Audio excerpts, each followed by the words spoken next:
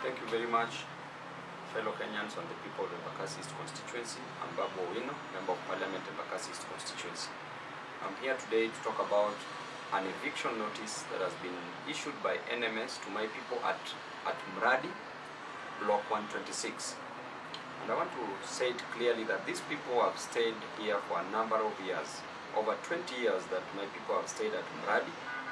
And as the Member of Parliament, I will not allow NMS to just come and evict my people to demolish their structures. They've given a period of 14 days. People have stayed for 20 years, yet you are giving a period of 14 days. It does not make sense at all. I want to tell my people that I will stand with you in this and we will not allow the demolition to take place. I also want to urge you to stand your ground and do not allow for your properties to be destroyed. And as a result, we are also heading to court get an injunction to stop NMS from demolishing the structures, the houses for my people. Thank you and God bless you.